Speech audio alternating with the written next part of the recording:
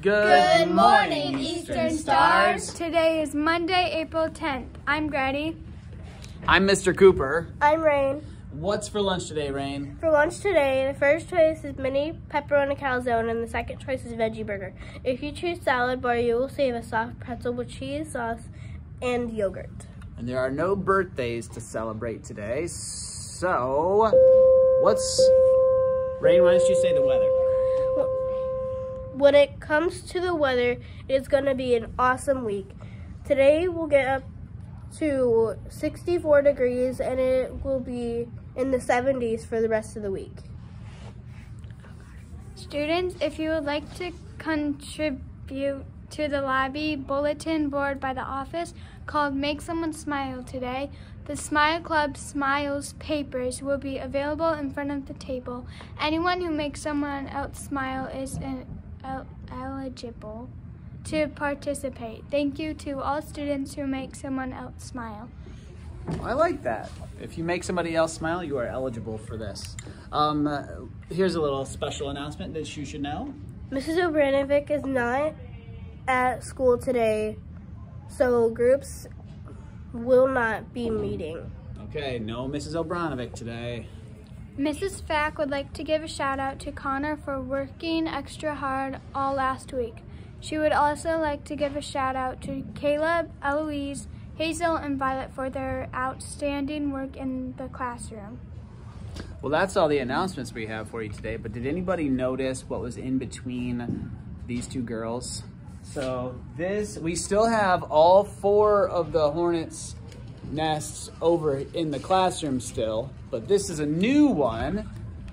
And since it's not hanging up, let's take a close look at it. All right. So it's kind of getting torn here at the bottom, but turn it around just a little bit and we can actually peek up inside it. Oh, okay. So here's the hole where, Wait, turn it more. turn it this the other way, Rain. There we go. So here's the hole where they used to come in and out and take a look at what is still hanging out right there and inside the hole. There are some bald face hornets that are hanging out. Ready? I'm gonna grab one if Rain stops moving it around so much. Whoa. There it is, a bald face hornet.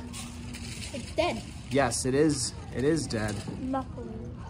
Otherwise, I would not be holding it like this.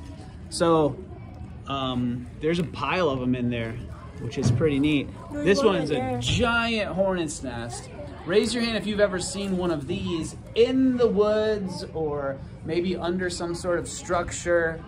Yeah, if it's uh, an active nest, you want to stay away because these guys have giant stingers and they can be very painful. We're going to take a look on the inside real quick. So this is this is uh, uh, paper. Um, some people call them paper hornets or paper wasps. They make a new nest every single year.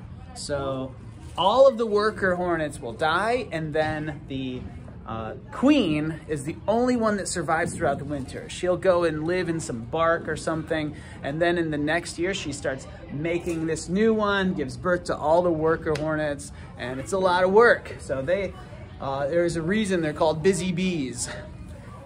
So that we're gonna hang that up, and that's gonna be the fifth bald-faced hornet's nest in our classroom. That's how we decorate here in fifth grade, right? Okay, that was our cool feature to today, and that's all we have for you.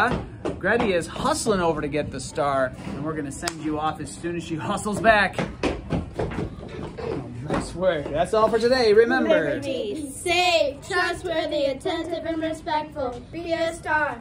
Have a magical Monday, and please stand for the Pledge of Allegiance.